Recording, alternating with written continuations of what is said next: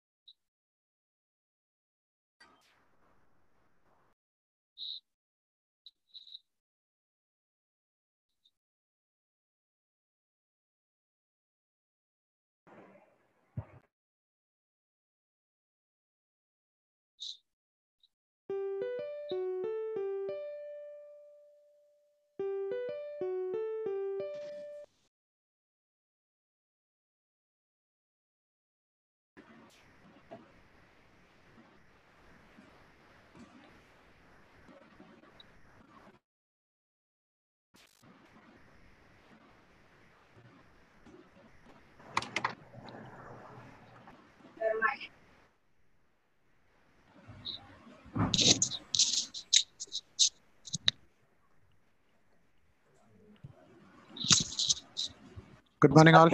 Good morning, sir. Good morning, sir. Good The book we have got, there is no such things. Only in the PDF it is there.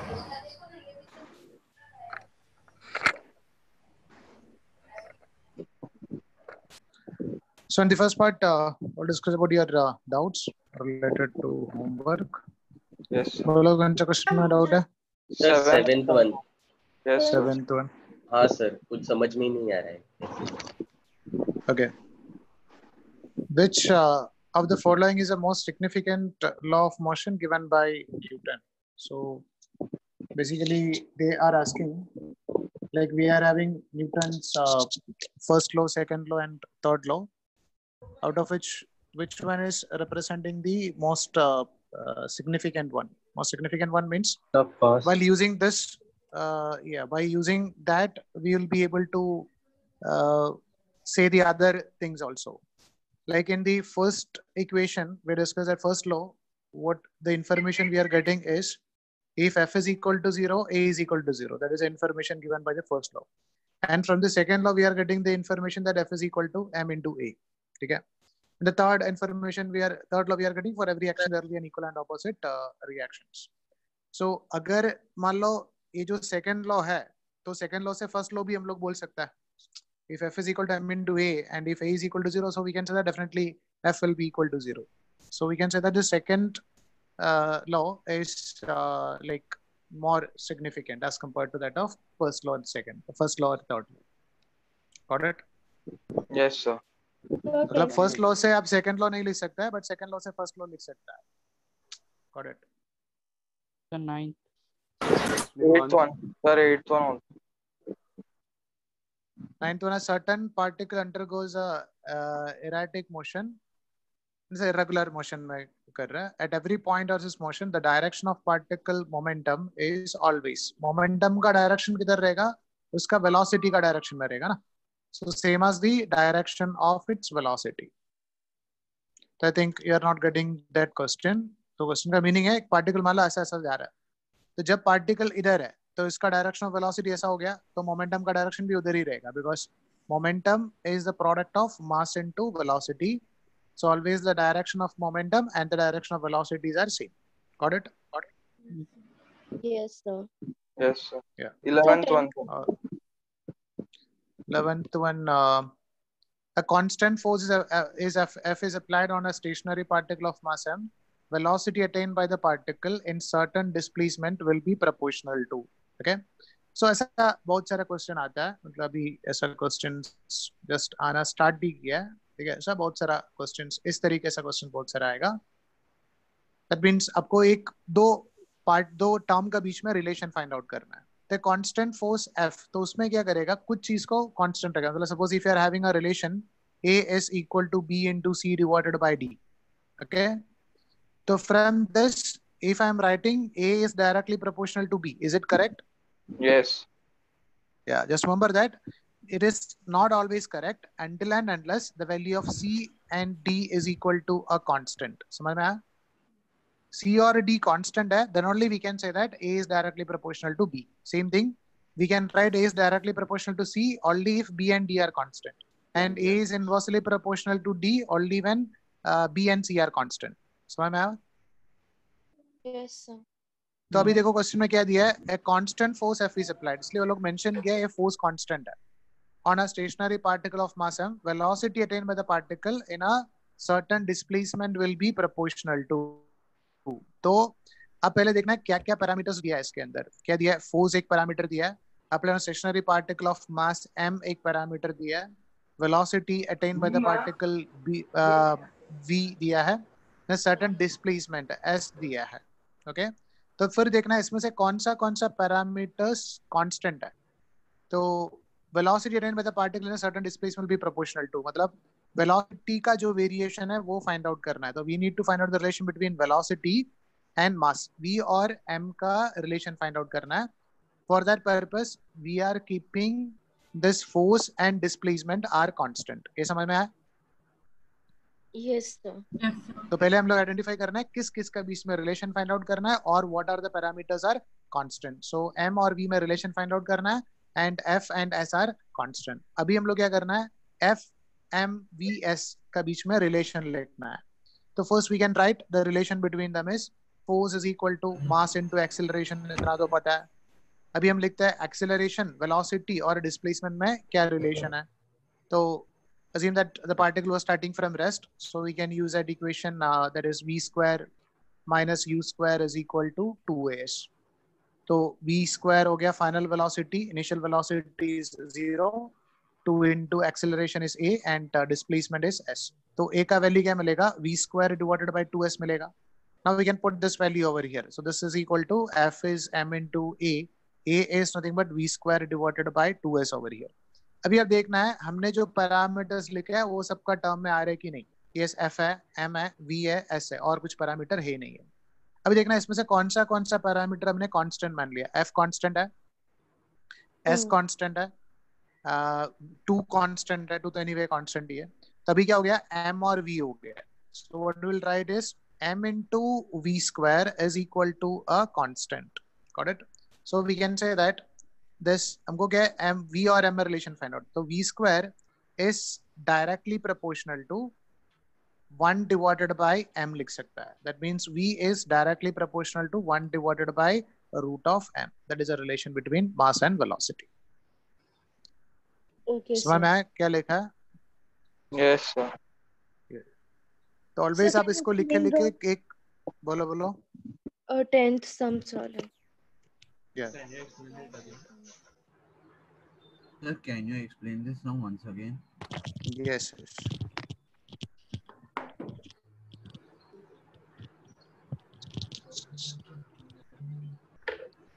तो पहले क्या करना है? Question को read करना है okay उसके बाद आप देखना है क्वेश्चन में रीड करके कौन सा कौन सा पैरामीटर कांस्टेंट रखा है और कौन सा कौन सा पैरामीटर वेरिएबल रखा है। तो क्वेश्चन में क्या पैरामीटर है? फोर्स है। वो कांस्टेंट रखा है। The constant force applied on a stationary particle of mass m तो ये दूसरा पैरामीटर मास हो गया।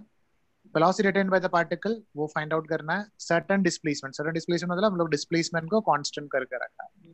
ठीक है?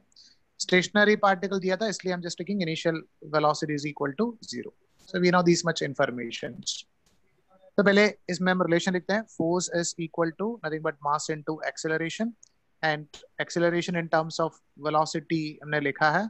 This is equal to m into v square a का वैल्यू था v स्क्वायर डिवाइडेड 2s तो हमको वेलोसिटी का रिलेशन फाइंड आउट करना था तो v square can be written as 2fs divided by m but इसमें से f और s और 2 कांस्टेंट है इतना term constant so you can write v square is directly proportional to 1 divided by m or you can write v is inversely pro- sorry inversely proportional to m or v is uh, inversely proportional to root of m got it sir Yes. बोलो बेटा sir इसके और NEET के question अलग है ना या मतलब दो पीडीएफ अलग है इस हाँ सर सर तो सर मेरे को वो नीट का जो पीडीएफ है ना उसका क्वेश्चन नंबर 18 पे डाउट हेलो बोलो बेटा तो वो हम बाद में डिस्कस करेंगे। अभी ये इसका ये पीडीएफ के हिसाब से कर दो। Sir, बोलो बेटा। Sir, so like जिस पैरामीटर्स में उन्होंने रिलेशन पूछा है उनको छोड़ के जो कुछ भी पैरामीटर्स है उनको हमेशा कांस्टेंट लेना है? नहीं नहीं वो क्वेश्चन में मेंशन करेगा कांस्टेंट है करके। ओके ओके सर हाउ कोई भी चीज़ का कांस्टेंट नहीं ले सकता। है okay sir sir how did you decide how did you decide the constants वो क्वेश्चन में देता है इसलिए बोला कि क्वेश्चन पढ़ना है पहले। फोर्स कांस्टेंट फोर्स तो फोर्स कांस्टेंट हो गया? Yes certain displacement displacement constant हो गया? Okay okay. या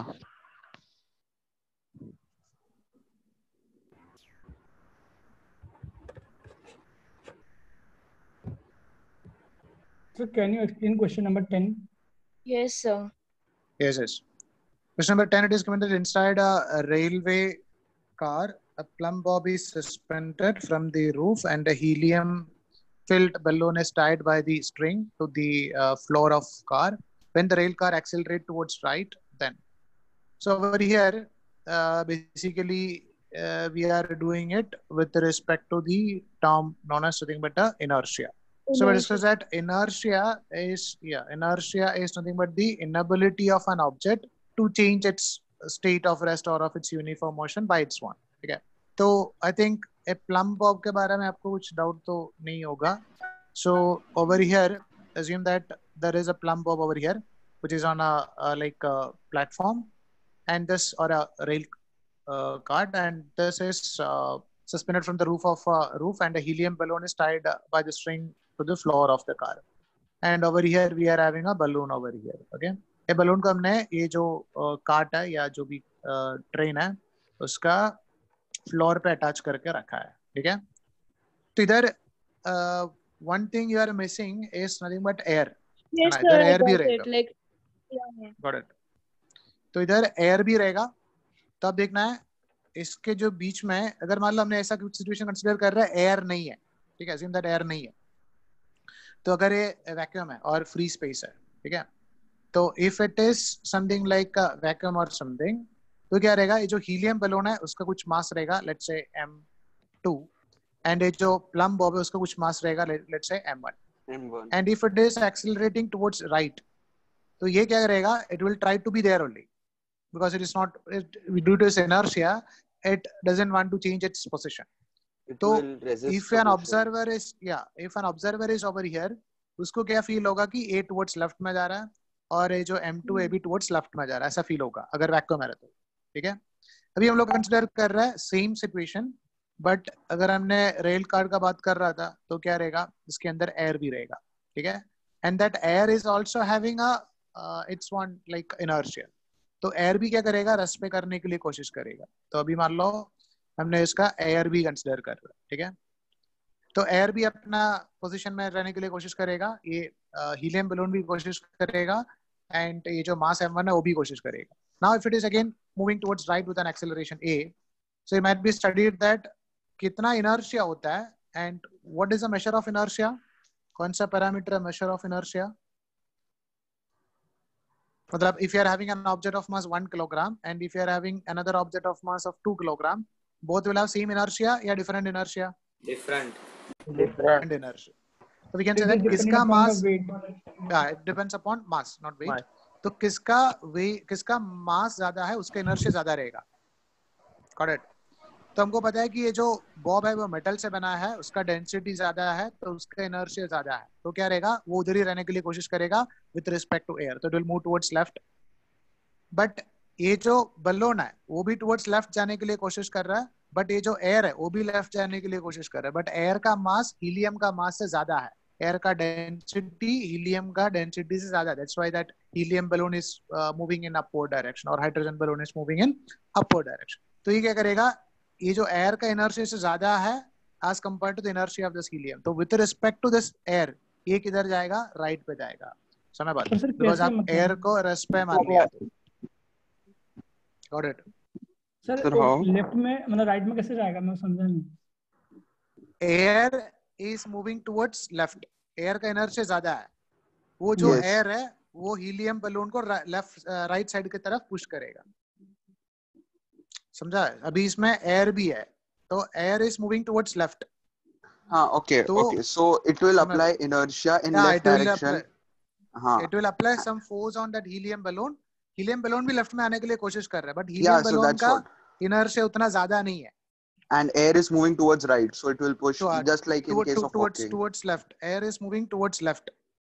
तो Yeah. लेफ़्ट का स्पेस एयर ऑक्यूपाई करेगा तो it will push that balloon towards right sir इसमें एयर और जो हीलियम बलून है उसमें थर्ड लॉ ऑफ़ मोशन हो सकता है ना क्योंकि वो लेफ़्ट में जा रहा है तो भी ये नहीं नहीं नहीं फ़र्स्ट लॉ अप्लाई कर रहा है इनर्शिया मतलब एयर भी कोशिश करेगा ये प्लम्बो भी कोशिश करेगा और ये जो बलून है वो भी कोशिश करेगा किधर? लेफ़्ट में जाने का with respect to observer here या अपना पोजीशन में रहने का। But ability understand. is the ability inertia means an object will try to be in its position. Yes. Object अपना जगह पे रहने के लिए कोशिश करेगा। ओके तो ये बलून भी अपना जगह पे रहने के लिए कोशिश करेगा एयर भी कोशिश करेगा और ये जो प्लम बॉब है वो भी कोशिश करेगा। बट किसका मास ज़्यादा रहेगा उसका इनर्शिया ज़्यादा रहेगा ठीक है तो प्लम बॉब का जो डेंसिटी है वो ज़्यादा है तो it will move towards left because with respect to observer over here actually वो Hmm. लेफ़्ट में नहीं जा रहा है वो अपना पोजीशन में रहने के लिए कोशिश कर रहा है जो कंटेनर है वो आगे गया है तो we Hmm. Feel that with respect this observer है लेफ़्ट में गया है तो ये जो. बलून है वो भी लेफ़्ट में जाने के लिए कोशिश कर रहा है बट उसका डेंसिटी उतना ज़्यादा नहीं है एज कंपेयर टू. एयर तो एयर जाएगा वो बलून नहीं जाएगा okay. तो जो एयर है वो जाके बलून को राइट में पुश करेगा। बोलो बेटा।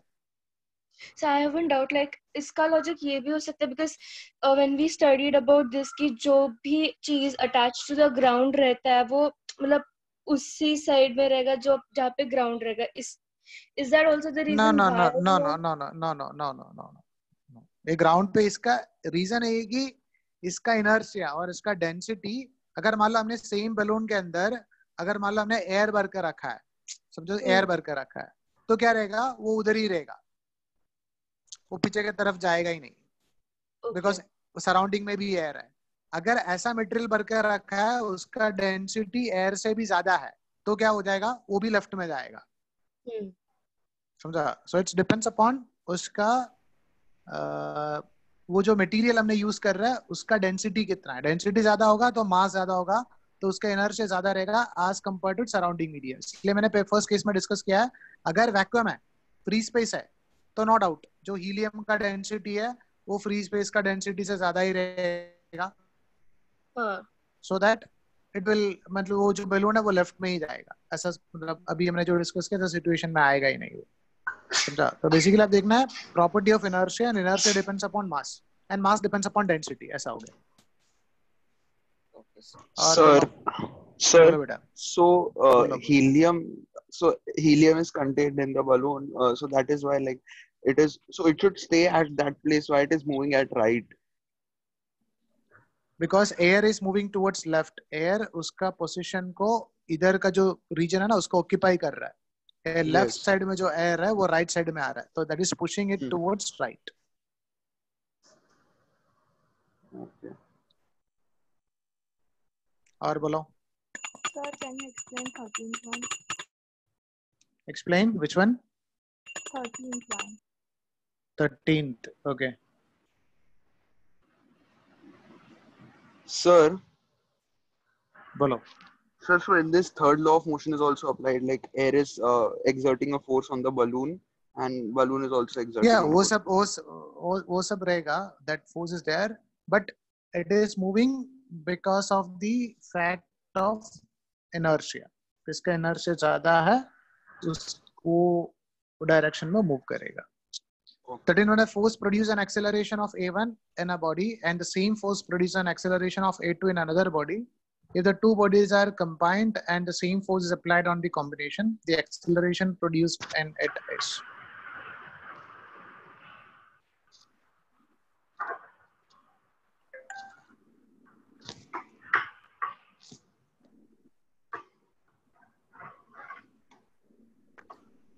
So over here we are uh, considering a situation that uh, a force produce an acceleration of a1. So assume that हमारे पास एक object है and वो object का mass है m1 and we are exerting a force f on this particle. So that it is moving with an acceleration a1. And the same force produce an acceleration a2 in another body. So we are having another object of mass m2 and उसके ऊपर भी हमने same force exert कर and it is moving with an acceleration let's say that is equal to a2. If two bodies are connected तो अभी हमने क्या किया दोनों पॉइंट दोनों ऑब्जेक्ट को कंबाइन किया है तो दोनों ऑब्जेक्ट को कंबाइन किया तो will get an object of mass let's say m1 plus m2 and we are exerting same force f over here and rm is to find out with what acceleration this combined system will move so we can write from the first observation force is equal to mass into acceleration that is m1 into a1 and so we can write the value of m1 because we don't know the value of uh, m over here. So i'm writing m1 will be equal to f divided by a1 same as like we can write the value of m2 will be equal to f divided by a2 because a2. this mass is not given in the question and the third case we can write the equation force is equal to same force exert kar mass mass into acceleration. Mass is m1 plus m2 into acceleration we can write that is equal to a. And our aim is to find out the value of acceleration over here. तो अभी हमने जो already m1 और m2 का value find out किया था in terms of f and a, we can put that value over here. So it is f divided by a1 plus f divided by a2. Sir, बोलो बेटा it is हाँ m M1. m m1 हाँ m1 m1 m1 So, sir, you have written f there. f is equals to f by a1 plus f by a2. नहीं नहीं ये m1 का value f by a1 है ना बेटा sir आपने वहाँ पे M1 f लिखा है ना f तो लिखेगा ना और क्या लिखेगा? अच्छा एफ़ है ना? Okay okay. Af तो लिखा है. इधर। ये m1 का जगह पे f by a1 लिखा। M2 का जगह पे f by a2 लिखा। Into a sir now we जो can take this एक सर मिनट ए कौन सा है? पहला वाला। फ़र्स्ट पहले वाला ए को ए वन लिखा है बाद वाला ए को ए टू लिखा है। एक ही ए है। तो जो लास्ट में लिखा है ना जो m1 one plus m two into a वो कौन सा है फ़र्स्ट या फिर सेकंड अरे वही बोला। मैंने फ़र्स्ट ए को a1 लिखा है सेकंड ए को a2 लिखा है। ए एक ही लिखा ना?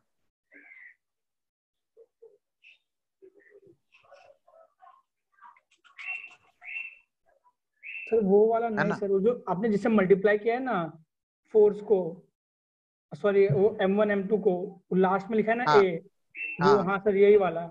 ये हाँ। कौन सा वाला है मतलब फ़र्स्ट या फिर सेकंड वो टोटल है। ये है। और मतलब मैंने अगर दो तीन जगह मैंने अगर द, दस जगह पे ए लिखेगा तो you'll get a confusion that which a it is.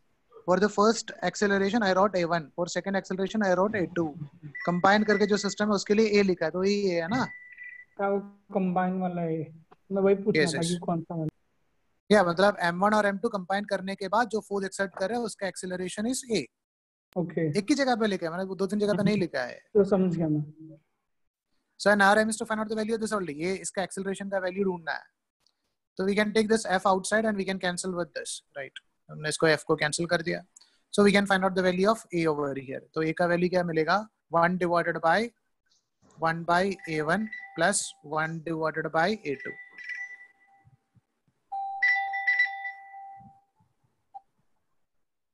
One divided by a1 plus one divided by a2. So we can write this A will be equal to अब A1 A2 का LCM ले लो तो क्या मिलेगा A1 A2 divided by A1 uh, sorry A1 A2 divided by A1 plus A2. So we can write this A1 A2 divided by A1 plus A2. That will be the value of its net acceleration, right? समझ में बात Yes, sir. तो मास दिया नहीं था तो मास को force और एक्सेलरेशन का टर्म में कन्वर्ट करके लिखना है और nothing else fifteenth one sir. 15th.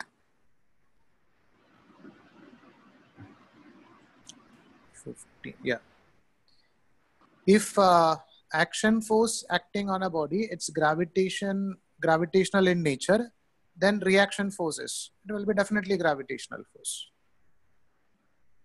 मतलब आपके पास एक ऑब्जेक्ट है ऑफ़ मास m1 अगर ये दूसरा ऑब्जेक्ट के ऊपर एम टू के ऊपर ग्राविटेशनल फोर्स एक्सर्ट कर रहा है एफ़ का and I think you know the equation for that also G m one m two by r square so m two will also exert same force on m one these are the action reaction forces same force same magnitude opposite direction तो ये gravitational force है तो दो भी, दूसरा भी gravitational force ही रहेगा।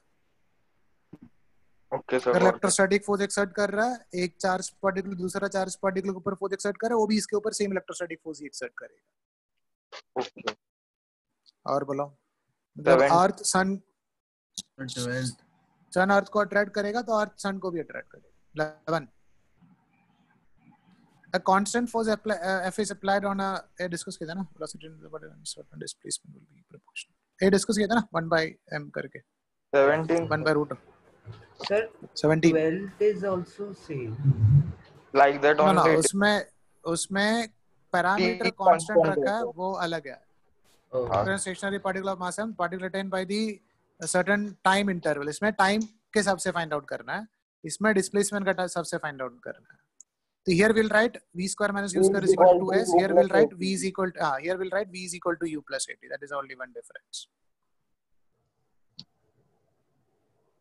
कौन सा बोला 18 बोला 18 17 17 18 19 20 all the propulsion of rocket is based on the principle of conservation of uh, like it's based on the principle of conservation of linear momentum because उन्हें क्या कंसिडर करता है कि momentum of system will remains constant if external force is not acting on the system तो अगर एक मास towards left exert कर रहा है कुछ फोर्स तो इसका मोमेंटम को कंजर्व करने के लिए another particle is going to move in the opposite direction that means like if you are considering a system of mass let's say m1 plus m2 अगर हमने इसको दो पार्ट में डिवाइड किया है a system of mass m1 if it is moving towards left with a velocity v1 then another mass m2 should move towards right with a velocity v2 in such a way that अगर मान लो initially ये रस पे था तो इसका initial momentum क्या था? ज़ीरो था तो फाइनल मोमेंटम भी ज़ीरो होना चाहिए।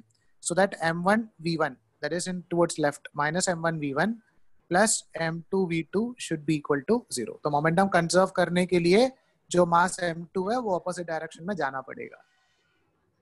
आपने भी कुछ मतलब मूवी वगैरह देखा होगा, उसमें अगर स्पेस में है, कुछ पार्टिकुलर टुवर्ड्स लेफ़्ट में फेंकेगा तो person will move towards right मतलब अपोजिट डायरेक्शन मूव करेगा टू कंजर्व दैट मोमेंटम अगर दोनों सेम डायरेक्शन में मूव करेगा तो मोमेंटम कंजर्व नहीं हो जाएगा। मतलब इनिशियल मोमेंटम ज़ीरो था अभी भी मोमेंटम ज़ीरो होना चाहिए ऐसा। ओके और बोलो। Sir so sum of that momentum should be zero या sum of momentum should be equal to zero okay so that's why we divided that part by या दैट्स व्हाई लाइक एयर इसमें जो rocket से जो fuel है वो कौन सा डायरेक्शन में मूव करेगा और एयर कौन सा डायरेक्शन में वो इजेक्ट करेगा गैस उसका ऑपोजिट डायरेक्शन में रॉकेट मूव करेगा ताकि टोटल सम ऑफ़ मोमेंटम देखे तो will be equal to zero Okay. And 18 में डाउट है? नो सर और और कौन सा है? 19. 19 19 a man is standing in the uh, middle of a perfectly smooth uh, ice la- island of ice. Where there is no friction between the ground and its feet under these circumstances ये हमने पहले dish, अभी discuss किया ना ऐसा ही है he can reach the desired corner by throwing an object in the same not in the same direction किधर करना पड़ेगा ऑपोजिट डायरेक्शन में फेंकना पड़ेगा ताकि मोमेंटम कंजर्व करने के लिए वो उल्टा जाएगा So So he can reach the desired corner by throwing an object in the in the opposite direction. Sir momentum conserve क्यों करना है मेरे को नहीं करना है बट फोर्स ज़ीरो है तो मोमेंटम कंजर्व होगा। If force is not acting on the system तो इसमें एक्सटर्नल फोर्स क्या हो सकता है? फ्रिक्शन हो सकता है। But there is no friction so that's why yes about. It yes actually क्या रीजन रहता है? अगर मान लो there is object of m1 and इधर एक पर्सन है ऑफ़ मास m2 तो ये m2 इसको फेंकने के लिए m1 को फेंकने के लिए m m2 m1 के ऊपर फोर्स एक्सर्ट करेगा ये डायरेक्शन में। तो m1 m2 के ऊपर equal and opposite reaction force exert करेगा। ये रिएक्शन फोर्स की वजह से m2 इधर आ जाता है समझा? और m1 आगे जाता है। बट अगर आप इसका वेलोसिटी देखेगा m1 v1 plus m2 v2 देखेगा then that will be always equal to zero to conserve the momentum ऐसा है। गॉट इट और बोलो। Sir 20. Which uh, law of Newton is uh, reveals the underlying uh, symmetry in in the forces that occur in nature. Symmetry मतलब ये represent कर रहे हैं कि for every action there will be an equal and opposite uh, reaction. उसका ये मतलब third law ये representation है। मतलब एक इलेक्ट्रिक चार्ज दूसरे चार्ज के ऊपर फोर्स एक्सर्ट करेगा तो ये भी उसके ऊपर ही सेम ही एक्सर्ट करेगा लाइक दैट तो this basically depends upon the value of its uh, like uh, third third law symmetry मतलब हर एक के लिए दूसरा एक फोर्स होता है ऐसा। बोलो बेटा। 21, 21. यू होल्ड अ 21 नहीं दिया था। फॉर्म 2 तक होमवर्क था? क्या 20 तक लेकिन कल डिस्कस करें बोलो बेटा। होमवर्क का फोर्थ वाला। ये अभी ये सीक्यू में 20 तक कुछ डाउट है? कोई भी क्वेश्चन में? नो सर डन सर दो। Okay sir first question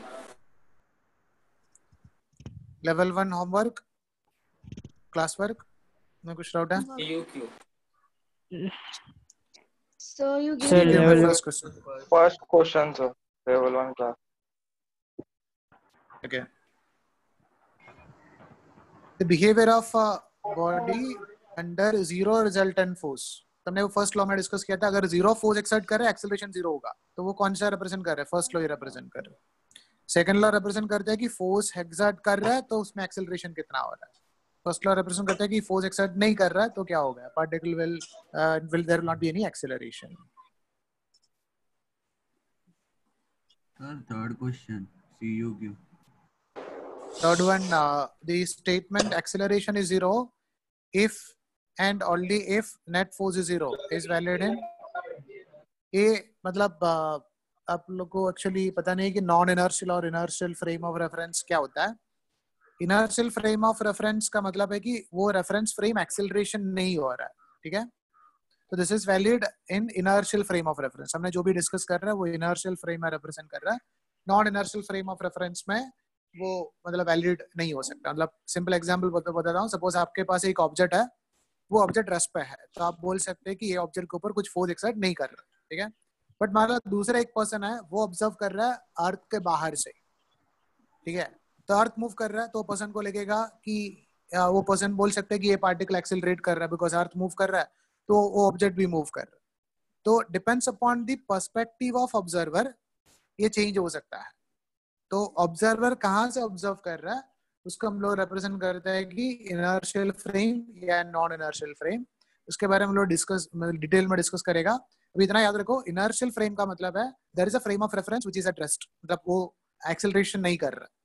That is non as inertial frame of reference जो भी न्यूटन लॉ है वो सब इनर्शियल फ्रेम ऑफ़ रेफरेंस में एप्लीकेबल है। Non inertial frame of reference में वो एप्लीकेबल नहीं है। उसके लिए हमने और कुछ तरीका यूज़ करता है ठीक है? Sir second one second.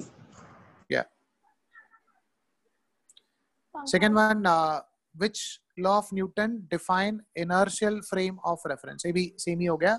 मतलब inertial frame of reference मतलब क्या है कि वो reference frame acceleration नहीं करना चाहिए तो the- defined by the no no second law Iner- मतलब acceleration नहीं होना चाहिए उसको सर is equal पर to zero आपने तो बोला कि सेकंड में ah acceleration sorry sorry first first first first first law yes sir that's what Yeah, sir. First.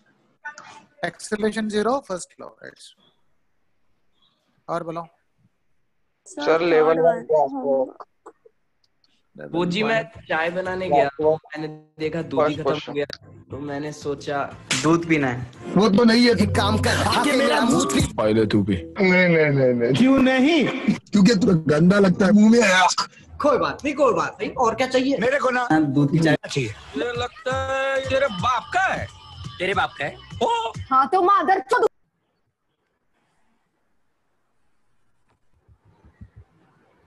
तो next पार्ट कौन सा बेटा level one plus work right first question first question again so over here it is uh, given that n balls each of mass m uh, being elastically in each second on the surface with a velocity u the average force experienced by the surface will be तो find out करना है average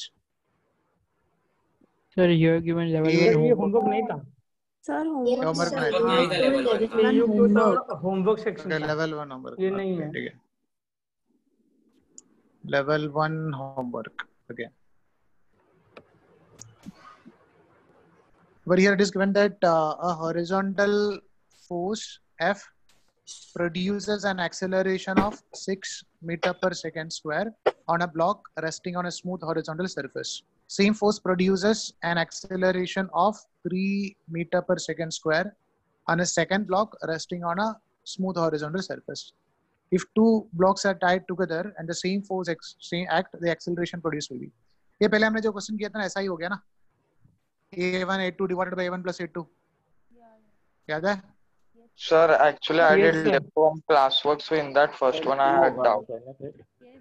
okay okay तो second वाला जगह देखना Second option second one yeah second question में doubt है yes sir yes sir a 0.2 kilogram object is subjected to a force of this one what is the velocity after 6 seconds इसमें क्या problem है vector में दिया है तो आप वेक्टर में लिख देना so we can find out what about the value of acceleration vector so we can write acceleration vector is equal to force vector divided by magnitude of mass mass scalar quantity है तो force का value कितना था 0.3 i cap plus उसको vector form में लिख देना 0. Sorry minus minus uh, 0.4 j cap divided by the value of mass that we can take as 0.2 so this will give the value of its uh, like magnitude of this 0.5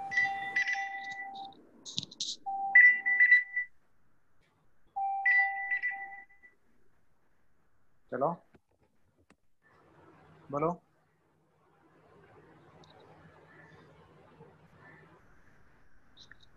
तो मैं class में नाटक करे तो क्या class में रखना है क्या? आपको पता नहीं क्लास से रिमूव होगा करके। हाँ? रिकॉर्डिंग है ना, भेजता हूँ, बाप को भेजता हूँ रिकॉर्डिंग ठीक है? जो भी गाली है ना, सब खतरनाक गाली हमको भी आता है। अब ऐसा मत सोचो टीचर है कि ये है है करके।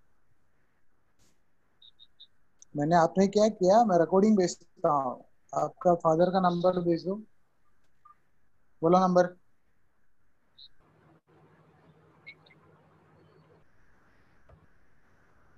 हाँ बोलो। हाँ बताओ बताओ। घर पे कोई नहीं है क्या अभी? मम्मी को फ़ोन दो।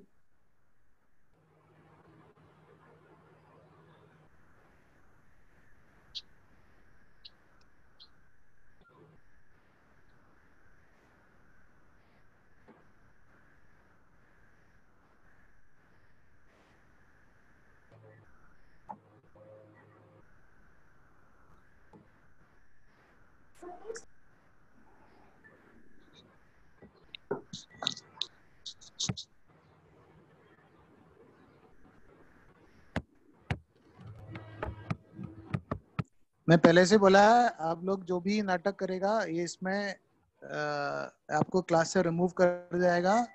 अगर हेलो ये कहाँ बैठ के क्लास अटेंड कर रहा है, बच्चा? मैं टीचर बोल रहा हूँ, नारायणा से फिजिक्स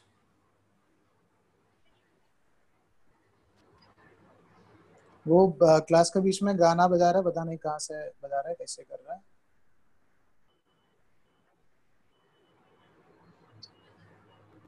ओके अभी मतलब क्लास में अंडर अंडर नहीं देगा प्रिंसिपल सर से बात करो और जो भी रिकॉर्डिंग है मैं आपको भेजता हूँ किस तरीके से गाना बजा रहा है जो भी हो आप उसका सर से बात कर लो ठीक है? या मैं भेजता हूँ।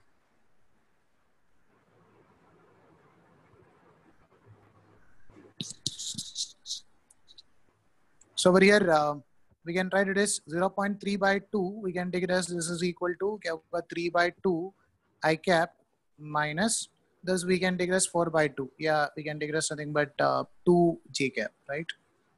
Sir ऊपर स्क्वायर तो- करके मैग्नीट्यूड नहीं लेंगे। हाँ मैं लेना लेना लेना तो ये क्या हो गया? फोर्स का वैल्यू हो गया। तो ये एक्सेलरेशन का मतलब acceleration in vector form acceleration vector quantity है ना?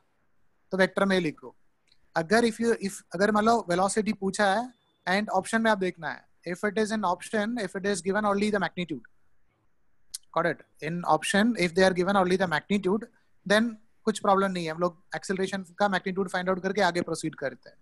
बट इधर क्या है? वेक्टर फॉर्म में दिया है। तो आंसर भी वेक्टर फॉर्म में ही होना चाहिए ना। इसलिए हमने वेक्टर फॉर्म में उसको लिखा है। एक्सेलरेशन वेक्टर फाइंड आउट किया now we can go for velocity vector then we'll use that equation, vs equal to nothing but u plus at इसको a t लिखना है। इसको मतलब वेक्टर फॉर्म में लिखना है। तो v का हो गया, v का वैल्यू हो गया, that is v vector s equal to nothing but u u we can take it as nothing but Zero. uh, I think it is zero plus acceleration you can write the value of this acceleration is equal to 3 by 2 i cap minus 2 j cap into time time क्या दिया था 6 seconds तो into 6 और तो scalar quantity है तो directly multiply कर दो तो क्या जाएगा this is 9 i cap minus uh, 6 j cap right sorry 12 j cap 12, 12 they gave, yeah. So that will be the value of velocity. Got it? Yes, sir. The ninth one. one. The fourth one. Fourth one, uh, we can take it as uh, three forces, F1, F2, and F3 are simultaneously acting on a particle of mass m and keeping it in equilibrium if uh, F1 force is reversed in a direction, uh, reversed in the direction only, the acceleration on the particle will be. So, meaning hai, three forces F1, F2, F3 are simultaneously acting on the particle of mass m. Keep it in equilibrium. Equilibrium means kya hona chahiye net force?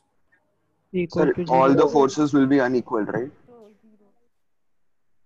Equilibrium means Zero. zero. zero. Net Yes. force is zero. Net force yes. Net force would be equal to zero. So we can write a F1 vector plus F2 vector plus F3 vector add करके net force क्या zero होना चाहिए?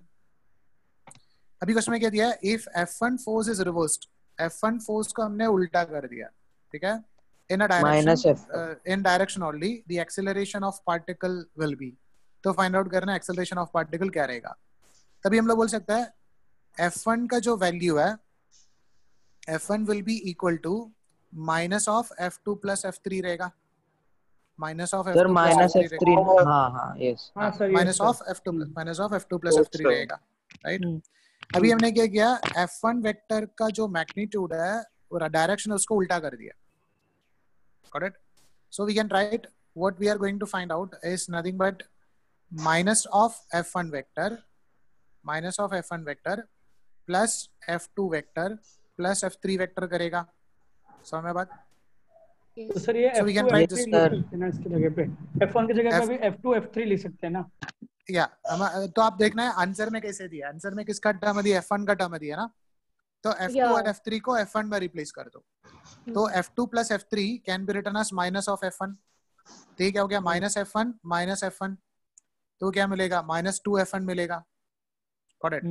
तो net force क्या हो गया minus two F one हो गया so we can find out the value of acceleration that is minus 2 f1 divided by mass got it Yes, sir.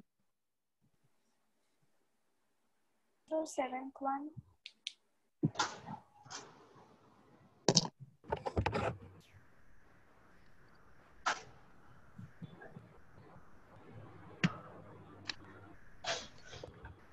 seventh one it is given that uh, 10 coins are placed on the Sir, top but of each other only one force was reversed, right? So how did why did you reverse all the two forces, all the three forces? सबको reverse नहीं किया only f1 को reverse किया Sir, so it should be uh, F1 should be F1 plus F2. f1 becomes Minus reverse हो F1. गया तो minus हाँ. f1 plus f2 plus f3 yes वही लिखा है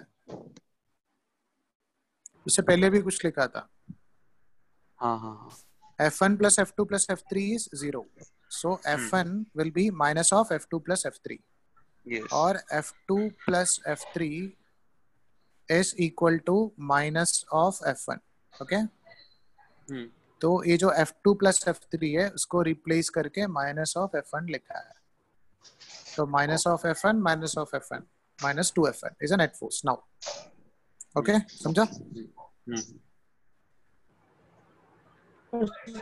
acceleration is equals to minus two F one upon M क्यों लिखा है मास तो चाहिए ना net force by mass acceleration is force by mass ना और कौन सा क्वेश्चन बोला था हाँ हाँ ये seven seven 10 coins are placed on the top of each other on a horizontal table if mass of each coin is 10 gram and acceleration due to gravity is 10 uh, meter per second square what is the magnitude and direction of force on the seventh coin counting from the bottom due to all the coins above it so what is the magnitude and the direction of force on seventh coin due to all the coins above it okay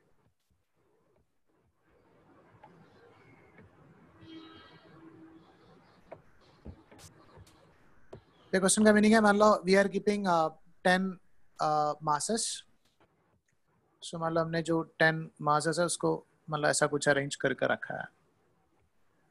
जैसे arranging it something like this ठीक है हो मतलब first one second one third one fourth one like that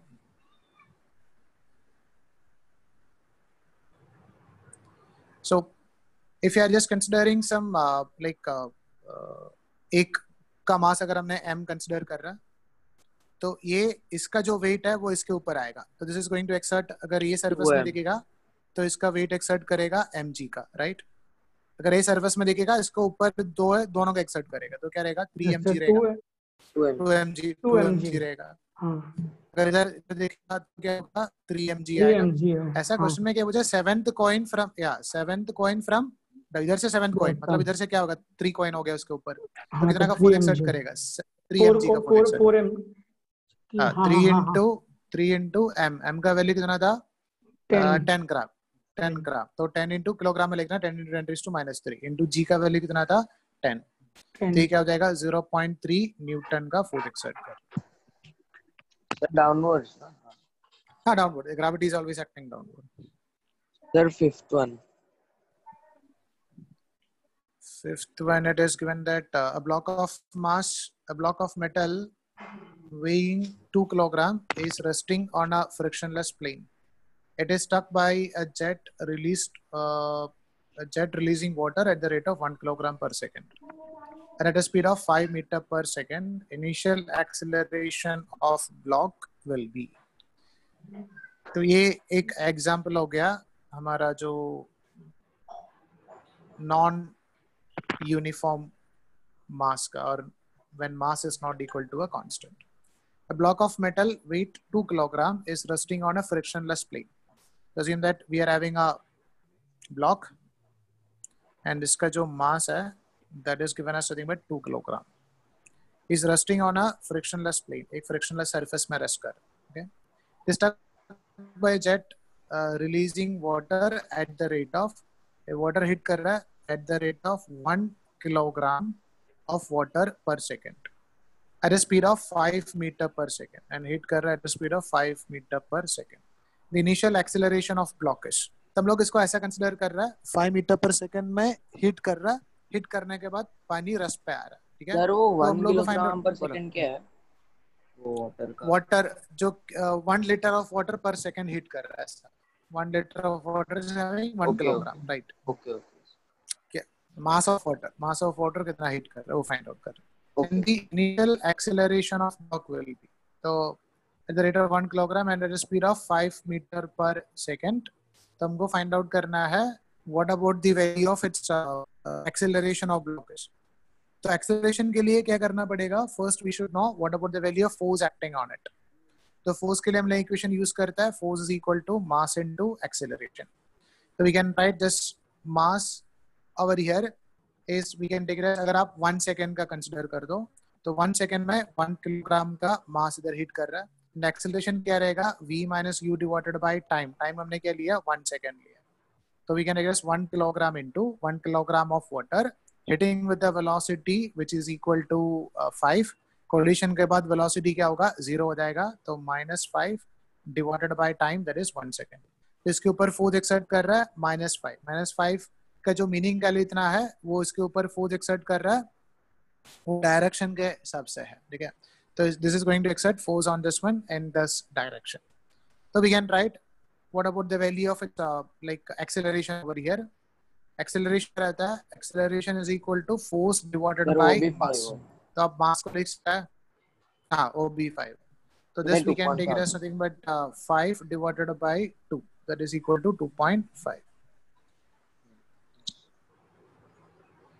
okay. आप ये तरीके से कर सकता है और आप इंस्टेंटेनियस भी कर सकता है मतलब इंस्टेंटेनियस मतलब आप ऐसा भी लिख सकता है force is equal to rate of change of momentum D by D T तो मोमेंटम में क्या चेंज हो रहा है? तो पहले मोमेंटम था M N two M N two या M N two U and final momentum sorry M sorry two V minus M m two U divided by T कर सकता है। So we can write Sir, why did you divide by two at the end? u divided by t was mass Uh, ना rm is to find out what about the acceleration of 2 kilogram water इसके ऊपर कितना force force exert कर रहा है वो हमने. Find out किया टू फाइव मीटर वो Hmm. टू किलोग्राम ऑब्जेक्ट के ऊपर एक्सर्ट कर रहा है तो to move with N. Acceleration of उसका एक्सेलरेशन फाइंड आउट करना है क्वेश्चन रीड करना है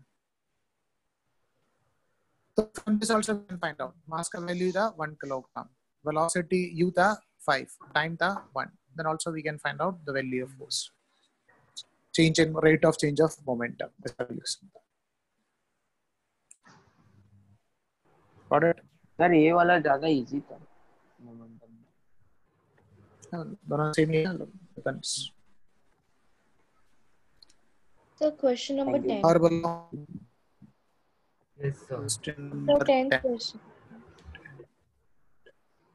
Yeah.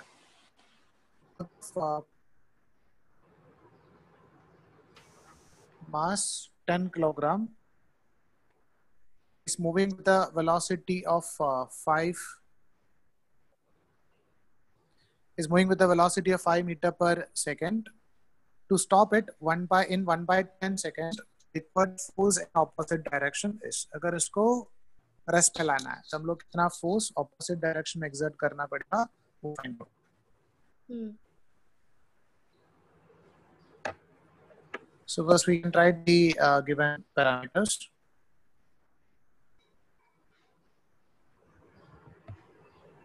Vehicle of mass, तो mass दिया है 10 kilogram is moving with the velocity. So mass we can take as 10 kilogram and it was moving with the velocity, initial velocity हो गया 5.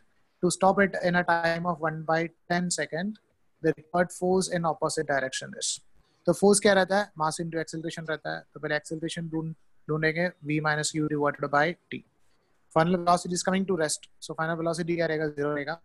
Initial Yeah. Velocity is 5 divided by minus time is 1 by minus fifty so you can write minus 50 तो acceleration चाहिए minus 50 तो we can find out उसके लिए force कितना चाहिए। Force equal to 500. Mass into acceleration mass का 10 into minus 50 so we required a force of minus 500 minus 500 का meaning है direction should be opposite to the direction of velocity or force should be equal to 500 in opposite direction. Sir ninth one Sir, sir. Ninth one sir इसका Sir. Answer one दिया है बोलो Yes, sir. Exactly. I was also getting दिया 500 Newton, but one option दिया है. नहीं नहीं 500 अच्छा, okay.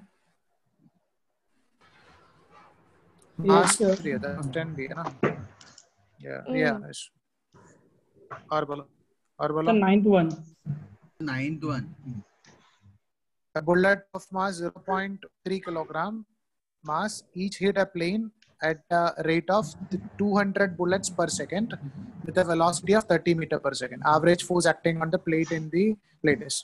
It is same as like हमने जो water का case consider किया था ना same as like that only. हम लोग आप consideration मतलब momentum के हिसाब से लिख सकता है या uh,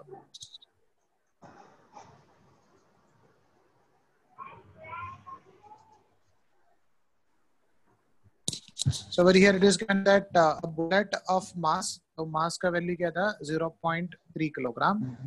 Each hit the plate at the rate of 200 bullets per second. तो total mass कितना hit कर रहा है 0.3 into 200 hit कर रहा है. When time is equal to one second.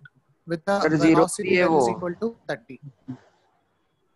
हाँ हाँ zero three zero three zero point zero three okay.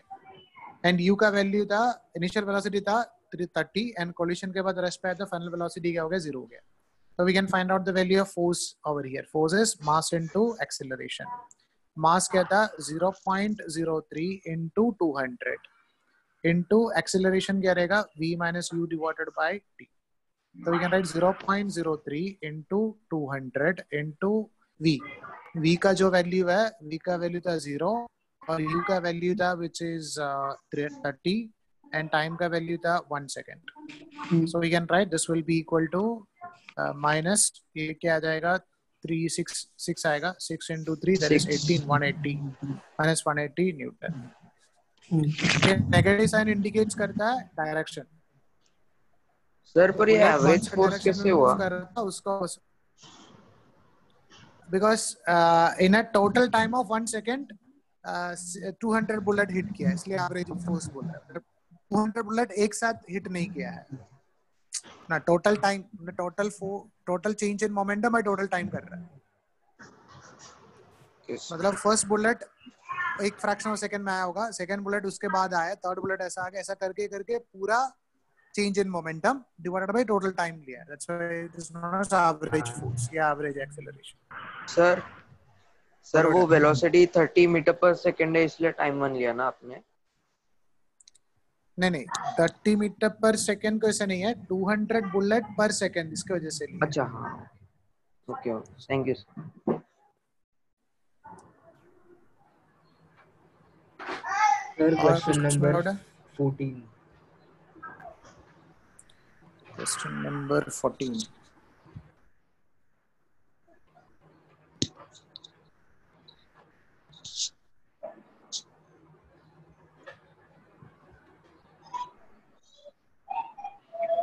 This question. For force is acted upon by uh, Fs is when the impulse received by the force during the first uh, four second is. देखो बेटा इधर force is given as a function of time. तो force constant नहीं आए तो impulse के लिए equation क्या यूज़ कर रहा था? Impulse equal to integration of of T D T force into time force as a function of time into D T F F D T करना है। एंड फ़र्स्ट फोर सेकेंड मतलब limit put करना है from zero to four तो force का value क्या था? Ten plus two T into D T integration of this one from zero to four so we can write this will be equal to 10 dt का integration हो गया t limit is changing from 0 to 4 plus 2 into t का integration हो गया t square divided by 2 and the limit is changing from 0 to 4 so we can write this is 10 into 4 minus 0 that is 4 plus ये 2 2 cancel हो गया 4 is to uh, 2 which is 16 16 तो क्या हो जाएगा 40 plus 16 that is 56 got it Sir, बोलो बेटा uh, question number 13 also. sir. Number 13. body mass uh, 5 kilogram is acted upon by the net force uh, F which varies with time t as shown in graph okay वो मतलब question और ये जो graph है ना वो अलग अलग है कुछ मिस्टेक हो गया उसमें मतलब डायग्राम अलग कुछ दिया है then the net momentum in SI unit uh, gained by the body in of same मतलब actually ग्राफ देना चाहिए तो area under the graph is going to give the value of impulse ऐसा क्वेश्चन था बट डायग्राम कुछ uh, गलत दिया है इसके अंदर 11th Sir, question 12th also 11th when uh, an impulse is applied to a moving object with a force at an angle of 120 degree with the velocity vector the angle between impulse vector and the change in momentum vector is okay so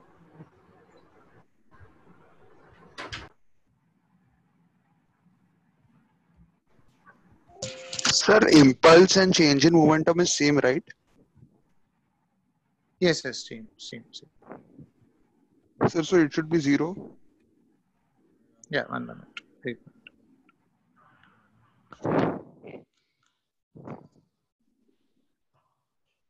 So over here, an impulse is uh, supplied to a moving object uh, with a force at an angle of 120 degree with the velocity vector.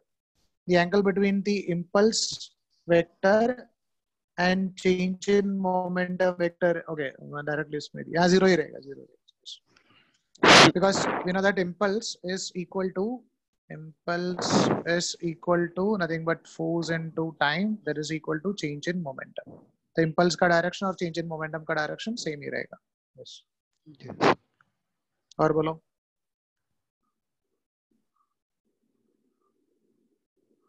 Sir, 12th 12th when it is given that a zero a 20 kilogram body is pushed with a force of 7 newton for 1.5 seconds with a force of 5 newton for 1.7 seconds and finally with a force of 10 newton for 3 seconds total impulse applied with the body and the change in velocity will so uh, total तो हम लोग क्या करना है फिर to T करना है ठीक है देख सकते हैं what about the value of impulse in each and every situations over here और वो सबको ऐड करना है we'll get the value of uh, total change in momentum over here तो फ़र्स्ट पार्ट में क्या दिया है at 20 kilogram what is pushed with a force of 7 newton for a 1.5 second so क्या हो गया impulse हो गया 7 into 1.5 ठीक है plus 5 into 1.7 plus last one क्या था 10 into uh, 3 so this 10 into 3 is equal to this is going to give the value of uh, total impulse मतलब फाइंड आउट कर सकता है। इसमें मतलब कुछ डायरेक्शन मेंशन नहीं किया है। Okay so we can find out what about the value of this net impulse over 49 मिल रहा है? Yes sir so let's see we are getting the answer is about 49 so 49 is the value of net impulse अभी क्या find out करना है? Change in velocity find out करना है। So we can write impulse is going to be another change in momentum impulse is equal to change in momentum momentum क्या होता है? Mass into velocity. So change in impulse is change in momentum is mass into change in velocity. So we can write change in velocity is impulse divided by mass. Question में mass का value दिया है मास का value क्या दिया twenty दिया है तो forty nine divided by twenty two point four five got it Yes, sir. Thank you, sir. और कुछ कुछ में डाउट है Sir, can you please discuss level one class work? Level one class work या first I will give it as a homework then we will discuss sir eight one थोड़ा mix question नहीं दिया है Sir, question 13. तक class के हम लोग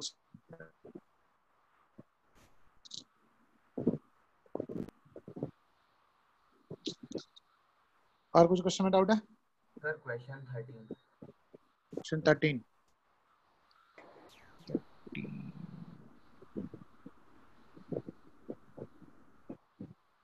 वो थर्टीन में कुछ मिस्टेक है बेटा। वो जो एक्चुअली ग्राफ देना चाहिए तो question based on the graph that force और टाइम ग्राफ देगा तो area and force time graph will give the value of impulse ऐसा क्वेश्चन था वो बट वो गलती से और कुछ डायग्राम दिया है। ग्राफ मतलब question number eight question number third So number eight में दिया n balls are moving normal to wall with a velocity u and rebound to the same speed. Change in momentum of ball during the rebounding is. Okay? तो ऐसा बहुत question पूछ सकता है तो ये थोड़ा इसमें थोड़ा मिस्टेक भी करता है तो ध्यान से सुनना है there is an object of mass m which is moving towards a wall with a velocity u normal normal is perpendicular to the wall जा रहा है and rebound with the same speed तो collision के बाद u velocity से वापस भी आ रहा है ठीक है then the change in momentum of ball during the rebound is. तो याद रखना है momentum vector quantity है change in momentum Zero. होता है। वही प्रॉब्लम है ज़ीरो नहीं है ठीक है? बिकॉज़ वेक्टर में लेना है। स्केलर में लिए तो ज़ीरो हो जाएगा स्केलर में नहीं लेना है। This will be equal to m into v vector minus m into u vector करना ठीक है?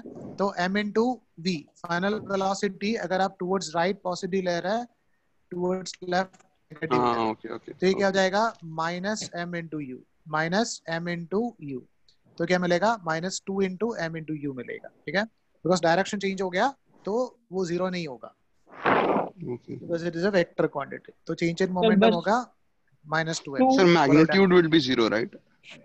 No no nothing is zero sir two m u आएगा ना मैग्नीट्यूड हाँ हाँ magnitude magnitude. is 2 mu Sir, it will be 2mu away from the wall.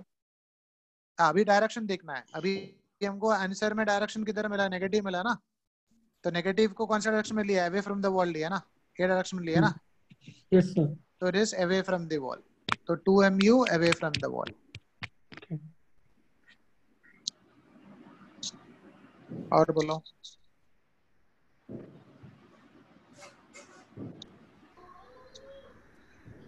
और कुछ question में डाउट है?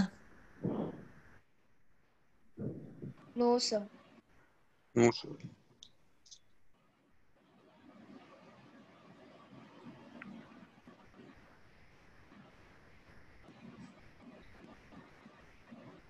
Sir, can you show the solved eight question?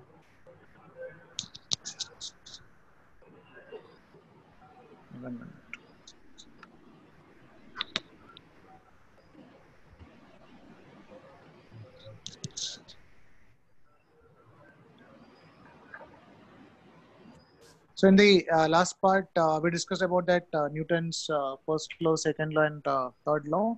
Okay.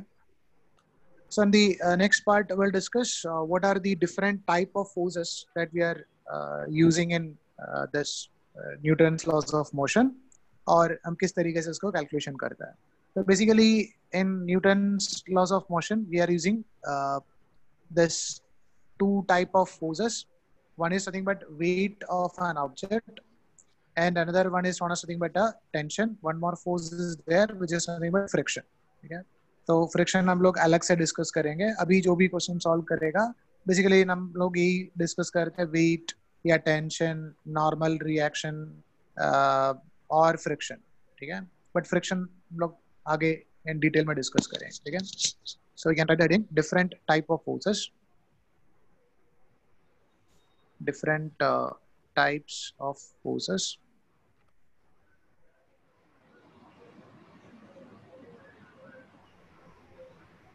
First, we are going to discuss about the weight of an object.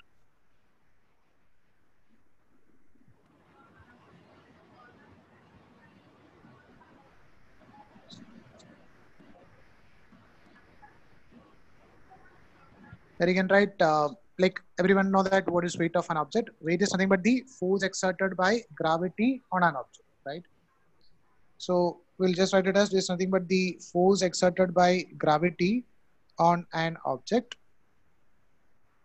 भी हम लोग discuss करते हैं उसका कैलकुलेशन कैसे करता है so if you are having an object of mass m which is nearer to the surface of earth so earth is going to exert some gravitational force on this object towards the center and that gravitational force will be equal to nothing but mass into acceleration due to gravity. तो हम लोग weight को ऐसा लिखता है weight is equal to mg and the direction of this force is always towards the center of earth but whenever we are observing from the horizontal from the surface of earth we feel that this is always acting in vertically downward direction तो उसका direction हम लोग vertically downward लेता है and we know that g का value अब 10 ले सक सकता है 9.8 ले सकता है depends upon the situation so on this one writing different type of forces first we can write weight of an object under weight of an object you can write it is the gravitational force exerted gravitational force exerted by earth on an object. Gravitational force exerted by earth on an object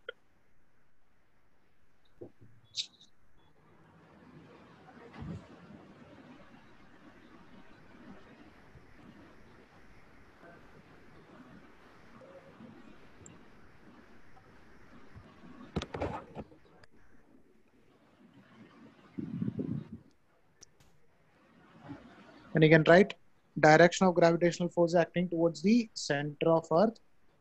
Direction of gravitational force is always acting towards the center of earth. Direction of weight is always acting towards the center of earth.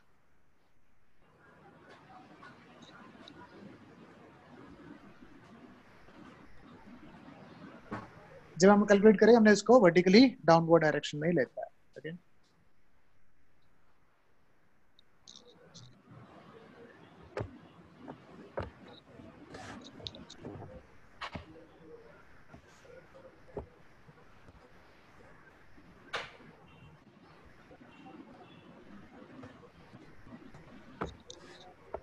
Okay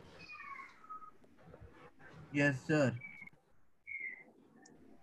Next force that we are using in common is nothing but a tension which is developed inside a string. ठीक है?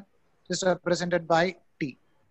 तो Newton's law में weight एक force हो गया वो use करेगा दूसरा टेंशन यूज़ करेगा तो टेंशन बेसिकली स्ट्रिंग पे ऊपर ही होता है तो नॉर्मली हमने एक ब्लॉक को एक स्ट्रिंग के साथ अटैच करके रखा है तो स्ट्रिंग के अंदर कितना फोर्स डेवलप होता है which is not nothing but a tension so tension कैसे डिफाइन किया है? It is the restoring force developed inside a string is not nothing but a tension अभी हम डिस्कस करते हैं ये टेंशन कैलकुलेट कैसे करता है? So can you scroll up for a minute?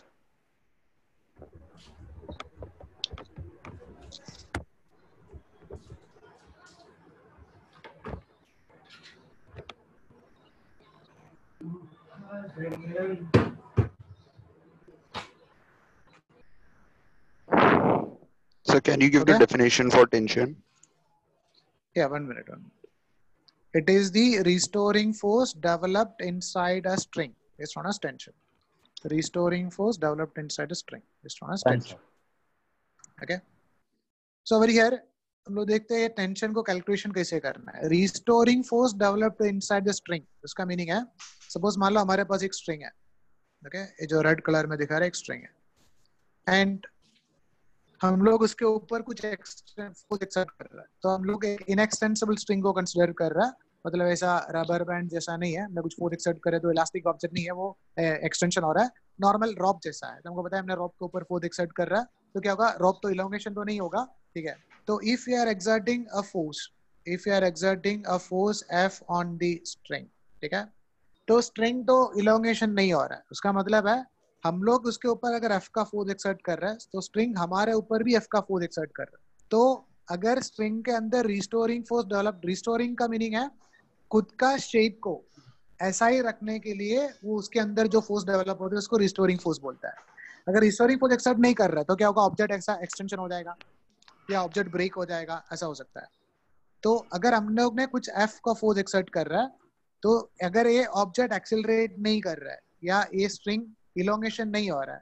तो उसका मतलब है ये स्ट्रिंग हमारे ऊपर भी एक्सर्ट कर रहा है या इसके अंदर एक रिस्टोरिंग फोर्स डेवलप कर रहा है of same magnitude F in the opposite direction so इसके अंदर टेंशन का वैल्यू हो गया एफ़ ये समझ में आया? Yes. Any doubt No. Okay तो अज्यूम दैट हमारे पास एक स्ट्रिंग है। इस स्ट्रिंग को मैंने एक एंड पे अटैच करके रखा है। एंड दूसरा एंड पे मैंने एक फोर्स एक्सर्ट कर रहा है लेट्स से 10 न्यूटन सो बोलो what about the value of tension developed inside the string 10 newton minus 10 हाँ। डायरेक्शन से माइनस 10 या तो अगर हमने ये पॉइंट को देखेगा लेट्स से पॉइंट ए तो इसके ऊपर ये पॉइंट के ऊपर we can say that there is a tension of 10 newton which is developed in this direction अगर आप सेम स्ट्रिंग है तो सेम स्ट्रिंग को ये पॉइंट बी से देखो। ठीक है? सेम स्ट्रिंग को पॉइंट बी से ऑब्ज़र्व करो। तो if you are observing from point B तो वो पॉइंट बी पे कौन सा डायरेक्शन में स्ट्रिंग फोर्स एक्सर्ट कर रहा है? राइट साइड में। टुवर्ड्स राइट पे एक्सर्ट कर रहा है? Yes so we can say that ये पॉइंट में टेंशन का डायरेक्शन एक्सर्ट करेगा 10 same 10 towards right got it तो we can say that B point का समझा नहीं मतलब कौन सा पॉइंट उसको अटैच करके रखा है हमने टुवर्ड्स राइट खींच रहा है। तो स्ट्रिंग भी ये पॉइंट को टुवर्ड्स राइट ही फोर्स एक्सर्ट करेगा ना? हम्म। मतलब आप आपका हाथ पे अपने एक ऑब्जेक्ट को रखा है और उसके ऊपर फोर्स एक्सर्ट कर रहा है। मतलब राइट हाथ से आप राइट की तरफ़ फोर्स एक्सर्ट कर रहा है तो स्ट्रिंग आपका जो लेफ़्ट हैंड के ऊपर राइट साइड का फोर्स एक्सर्ट करेगा ना? Yes, है sir. समझा। ना you can you So, can feel no, it sir, can you explain once again?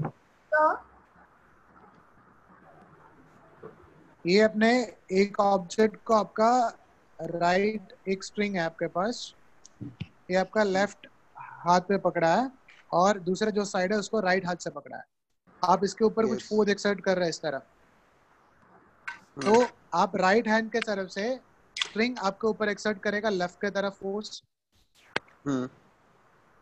ऐसा Yes. ये जो स्ट्रिंग है आपका राइट हैंड के ऊपर फोर्स एक्सर्ट करेगा लेफ़्ट हैंड के ऊपर फोर्स एक्सर्ट करेगा राइट के तरफ़ और आपका जो हाथ है वो इसके ऊपर फोर्स एक्सर्ट करेगा लेफ़्ट के तरफ़ ऐसा है ना? Sir, I am exerting like third law हो रहा है ना? अपोजिट और ये। थर्ड लॉ किधर भी होता है? बिना थर्ड लॉ में कुछ मतलब होता नहीं है। For every action there will be an equal and opposite reaction force तो Sir, ये एक action ex- uh, we are एक एक्शन फोर्स है उसका रिएक्शन फोर्स है एक एक्शन फोर्स है उसका रिएक्शन फोर्स हम लोग एक्शन रिएक्शन का बात नहीं कर रहा our aim is to discuss about tension okay बोलो बेटा Sir, so we are exerting uh, the force on the string from both the sides, like once from right uh, and once from left.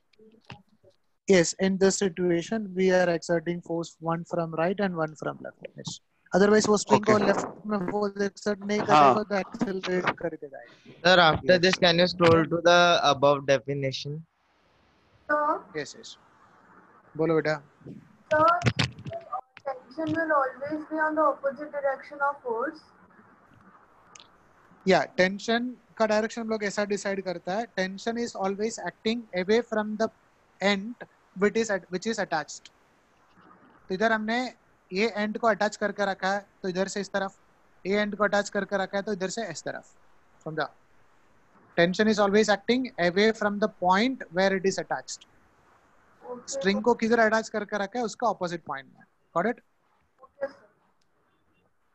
we'll take some more examples so we'll get a better idea about this Sir, so like Hello, if we take an example of bow and arrow, so mm Hmm. when we stretch the arrow, that's the tension, right? Yes that is Like- creating a tension in the string. तो string किधर attach करके रखा है उसका opposite direction में। मतलब अगर आप बो एंड एरो के केस कंसीडर कर रहे हैं तो आपका स्ट्रिंग मान लो ऐसा हो गया। ठीक है? तो आप आरो को इधर रखे अगर आप खींच रहे हैं। तो मान लो स्ट्रिंग का ऐसा हो गया। तो इधर स्ट्रिंग अटैच करके रखा है इधर स्ट्रिंग अटैच करके रखा है। इधर टेंशन का डायरेक्शन होगा ऐसा इधर टेंशन का डायरेक्शन होगा ऐसा। समझा? Yes, sir. yes sir. हम देखते हैं अगर मान लो हमारे पास एक ऑब्जेक्ट है वो एक स्ट्रिंग है एंड इस स्ट्रिंग के ऊपर मैंने फोर्स एक्सर्ट कर रहा है इधर लेट्स से 10 न्यूटन फोर्स तो बोलो what about the value of tension developed inside the string So 10 Newton in the opposite direction. Now sir कौन से पॉइंट के पर ये मतलब ये पॉइंट टेंशन सेम ही रहता है कोई भी पॉइंट पे वो what about the value of tension sir उसको अगर किसी से बांधा नहीं तो टेंशन नहीं रहेगा ना? यस यस एग्जैक्टली तो टेंशन का वैल्यू क्या रहेगा? ज़ीरो रहेगा। ज़ीरो ठीक है बिकॉज़ ये पूरा 10 न्यूटन फोर्स यूज़ करके एक्सेलरेट करके जाएगा। मतलब आप भी हाथ में एक स्ट्रिंग ले लो इसका टुवर्ड्स राइट में फोर्स एक्सर्ट करे तो स्ट्रिंग स्लैक ही रहेगा? मतलब स्ट्रिंग स्ट्रेच नहीं रहेगा। ना टेंशन नहीं रहेगा उसके अंदर। So over here the value of tension developed inside the string will be equal to zero तब फिर से देखो फ़र्स्ट जो सिचुएशन है ये सिचुएशन में क्या डिफरेंस हो गया? फ़र्स्ट सिचुएशन में ए एंड को मैंने अटैच करके रखा था, ठीक है? देन हम लोग ने इसके ऊपर फोर्स एक्सर्ट कर रहा था 10 न्यूटन तो that string is going to be like a stretched part तो ये इसके ऊपर एक्सर्ट करेगा 10 न्यूटन फोर्स इसके ऊपर एक्सर्ट करेगा 10 न्यूटन फोर्स तो ये वॉल इसके ऊपर एक्सर्ट करेगा 10 न्यूटन फोर्स तो ये दो फोर्स ऑपोजिट डायरेक्शन में एक्सर्ट कर रहा था. समझा so that tension over here but इधर ये डायरेक्शन में टेन फोर्स का वैल्यू क्या है? ज़ीरो है. ताकि टेंशन उसमें डेवलप नहीं हो रहा है. समझा? सर अभी हम लोग दूसरा एक एग्जांपल लेते हैं. मान लो हमारे पास एक स्ट्रिंग है एंड मैंने इसके ऊपर एक्सर्ट कर रहा है 10 newton force towards right and 2 newton force towards left बोलो what about the value of tension over here it will 8 8 newton. No sir 12 newton दोनों. साइड से नो माइनस एट न्यूटन कितना? माइनस सर इसमें tension नहीं रहेगा इसमें Minus एक eight, side से no. खींच जाएँगे। Sir there will be zero tension no बाकी सब बोला आंसर नहीं बोला. है Minus no no not 8 Eight. Towards right. Minus ठीक है। No no not minus 8 minus अभी देखो 12. ये हमने एक स्ट्रिंग में टुवर्ड्स राइट 10 एक्सेट किया टुवर्ड्स लेफ़्ट 2 एक्सेट किया। ये मूव करेगा कि नहीं करेगा? सर करेगा करेगा। तो कितना कितना फोर्स को ऐसे एक्सेलरेशन करेगा? 8 8 को ऐसे एक्सेलरेशन करेगा. तो टू टेंशन में कन्वर्ट हो गया। मतलब आप 10 को दो पार्ट में डिवाइड करके रखो। 8 न्यूटन एंड 2 न्यूटन इधर भी 2 न्यूटन ये 2 न्यूटन ये 2 न्यूटन को जैसे टेंशन होगा which is equal to 2 newton 8 newton किसके लिए यूज़ कर रहा है? एक्सेलरेशन के लिए यूज़ कर रहा है ना. हाँ? Tension is 2 and acceleration is 8 Okay. Okay sir alright Yes, sir.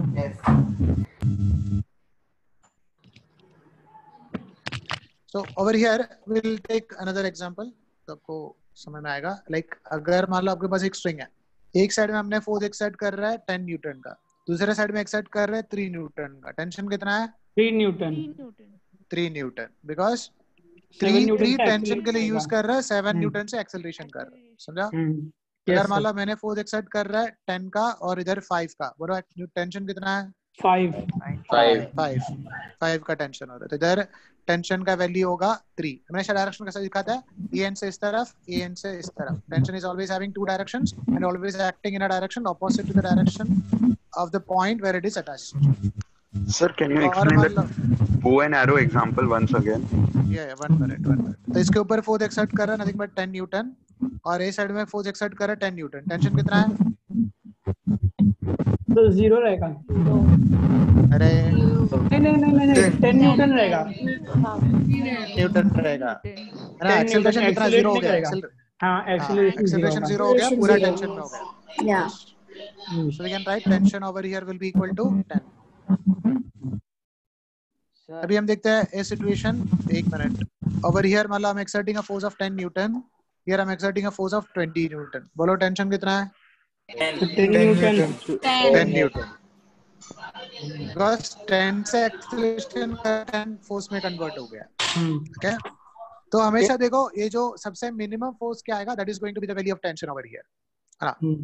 तो अगर दो फोर्स एक्सर्ट कर रहे हैं तो सबसे मिनिमम फोर्स क्या आएगा वो हमेशा टेंशन आएगा। Got it Sir, so uh, tension cannot be a negative quantity, नहीं नहीं टेंशन का जो भी फोर्स है ना वो सब फोर्स का नेगेटिव का कुछ मीनिंग ही नहीं है। जो भी वेक्टर क्वांटिटी है there is no meaning of saying that negative 10 newton that is just indicating the direction sir. Got it.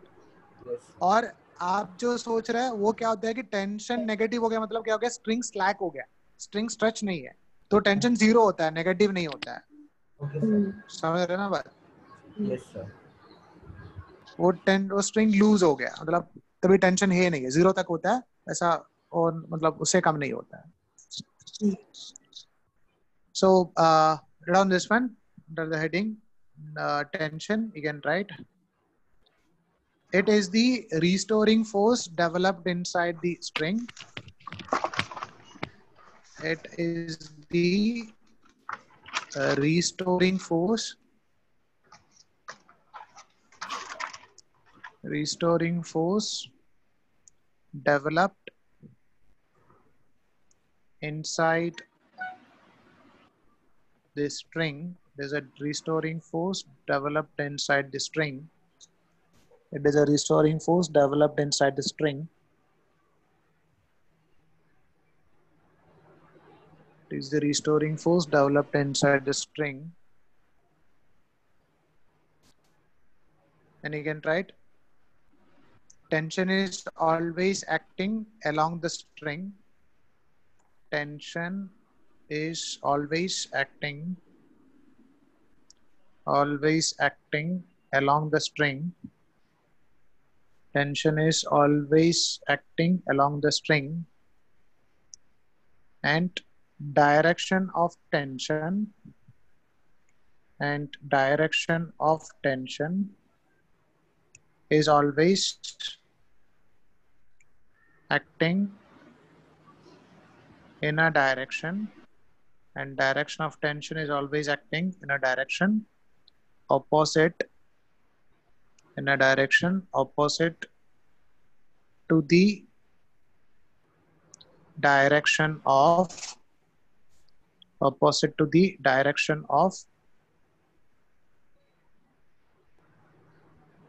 always acting in a direction opposite to the direction of force.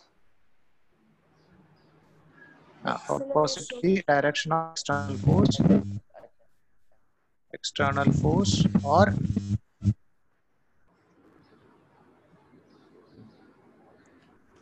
acting or acting away from the point or acting away from the point where the string is attached.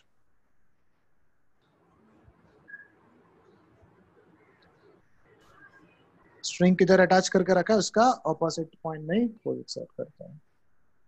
Sir बोलो बेटा। Sir ये ये Sunday के CDF में कौन से chapters आ रहे हैं? ये न्यूटन लो का ही आएगा। शेड्यूल भेजा ना सर ने ग्रुप में। हाँ Sir, वो शेड्यूल के हिसाब से आएगा बोलो बेटा sir, can you explain that bow and arrow example once again? क्या तो इसमें इसमें क्या था कि अगर मान लो हमने इसको स्ट्रेच करके ऐसा रखा है ठीक है तो ये हो गया हम्म। द पॉइंट ये मान लो स्ट्रिंग है हमारा Yes. So this is a point where it is attached. So tension is always acting away from the point where it is attached. ये tension का direction होगा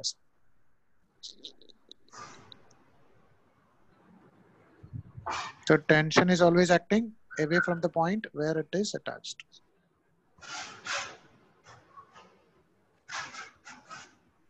अभी हम देखते हैं नेक्स्ट दो फोर्सेस है one is not nothing but a normal reaction sir वो bow normal and reaction sir वो बो एंड एरो में एक्सटर्नल फोर्स वो मतलब बिन- जो होता है ना वो हम stick लोग से जो आ रहा था फोर्स ना। खींच रहे हैं वही रहेगा हाँ यस स्टिक से Sir, sir, so my Follow. doubt was in my in that bow and arrow example, my doubt was uh, like we are exerting the arrow is exerting the force on the string in opposite direction, like yeah, on that direction.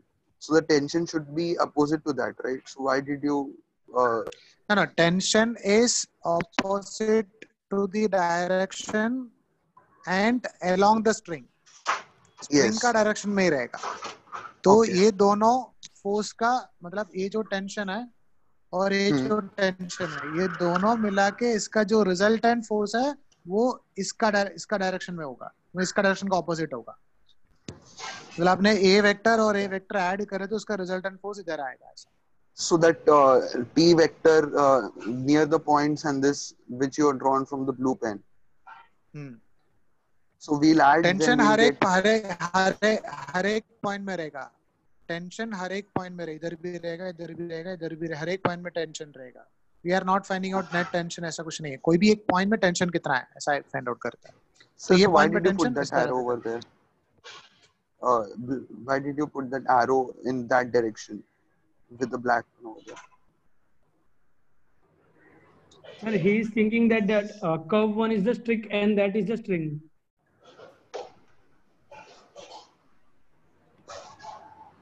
ये जो red colour में दिखा रहा है वो string है Yes.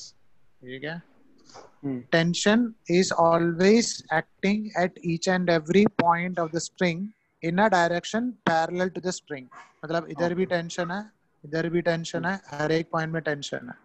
आप किधर भी उसको डायरेक्शन ड्रॉ कर सकते हैं बस आपको कौन सा पॉइंट में फाइंड आउट करना है। नॉर्मली हम लोग फाइंड करता है कौन सा एंड में अटैच करके रखा है। तो ये पॉइंट में अटैच कर इधर टेंशन का डायरेक्शन ऐसा है इधर टेंशन का डायरेक्शन ऐसा है। और बोलो। आपको और कोई भी पॉइंट में फाइंड आउट करना है। आपको अगर किधर एरो रखा है वो पॉइंट में फाइंड आउट करना है तो ये टेंशन का डायरेक्शन क्या ये टेंशन का direction okay should be parallel to the string in both the directions या got next part will discuss about this normal reaction normal reaction definition लिखा हुआ है एक minute normal reaction and friction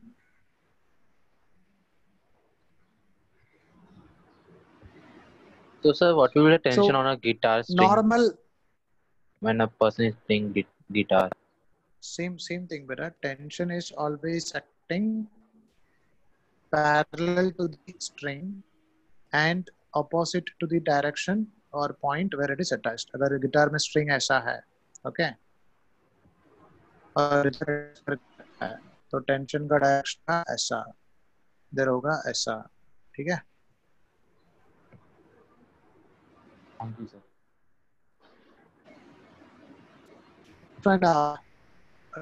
Normal reaction and friction normal का meaning है nothing but perpendicular okay and reaction means nothing but reaction force so if you are just considering a surface over here मैं एक surface consider कर रहा हूँ and ये surface के ऊपर एक force exert कर रहा है, let's say एक action force exert कर रहा है ये डायरेक्शन में। मतलब हमने ये सरफेस के ऊपर ये डायरेक्शन में कुछ एक्शन फोर्स एक्सर्ट किया ये हो गया हमारा एक्शन फोर्स तो सरफेस क्या करेगा?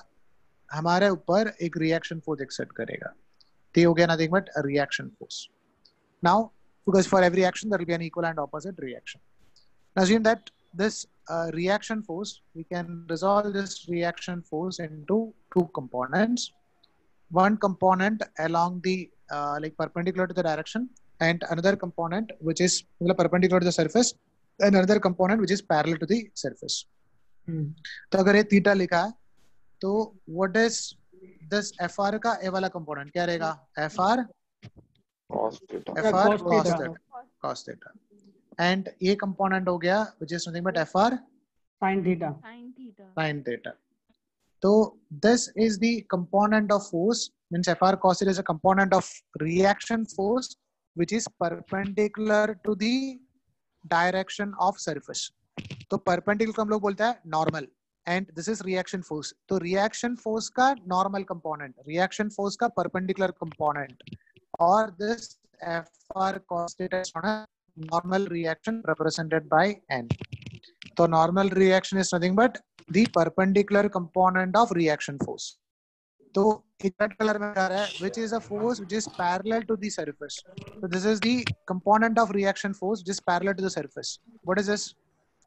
This is known as nothing but a friction. Got it? So Sir, friction is nothing again? but friction is nothing but the horizontal component of reaction force and normal reaction is the perpendicular component of reaction force Okay. okay Yes, sir. तो हम लोग ने एक surface में force exert कर रहा है ये डायरेक्शन तो सरफेस हमारे ऊपर फोर्स एक्सर्ट करेगा reaction force in this direction okay for between any two surfaces so for every reaction there will be an equal and opposite reaction we can resolve this reaction force into two components one is perpendicular to the surface another one is parallel to the surface component of reaction force perpendicular to the surface is known as normal reaction Normal component of reaction. reaction force Friction. parallel to the surface is known as something but a friction Friction. Down this one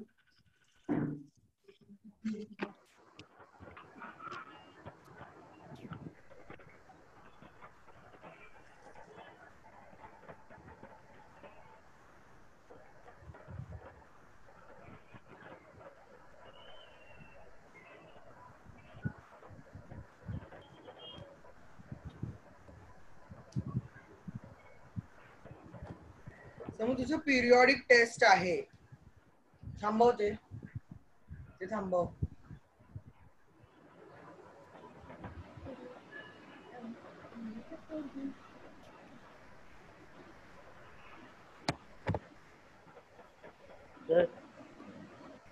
बोलो बेटा. Sir मतलब friction से reaction force से ही होगा? Yes friction is nothing but the reaction force कुछ नया कुछ फोर्स नहीं है? वो रिएक्शन फोर्स का हॉरिजॉन्टल कंपोनेंट फ्रिक्शन है इसका परपेंडिकुलर कंपोनेंट नॉर्मल रिएक्शन तो मतलब एक्शन फोर्स का हॉरिजॉन्टल कंपोनेंट फ्रिक्शन ऐसा नहीं होगा? एक्शन फोर्स का ओरिजिनल कंपोनेंट फ्रिक्शन नहीं है रिएक्शन फोर्स का हॉरिजॉन्टल कंपोनेंट फ्रिक्शन मतलब एक्शन फोर्स का हॉरिजॉन्टल कंपोनेंट को जो अपोज करते हैं उसको फ्रिक्शन बोलते हैं।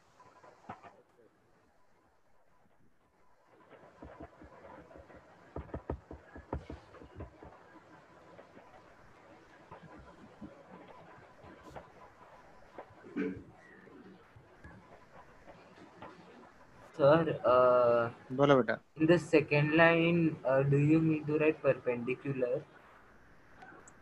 yeah perpendicular, perpendicular. Okay, thank you, sir.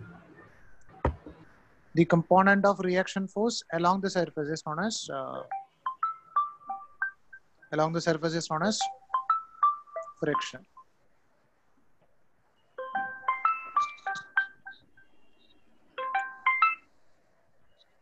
बराबर? क्या करें?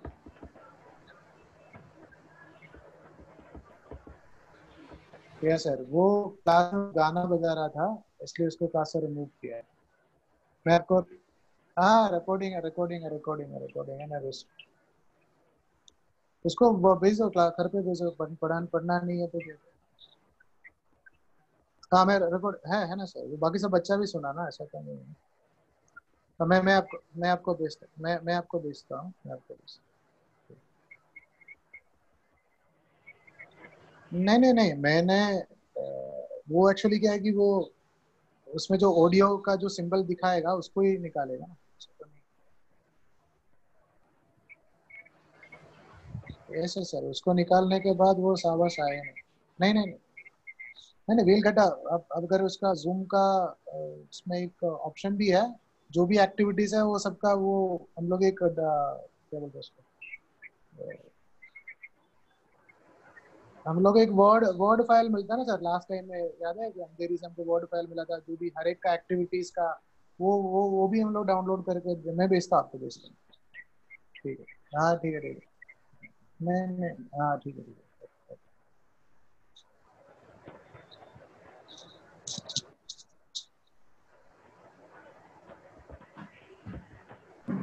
ठीक है बेटा Done, sir. we'll uh, continue continue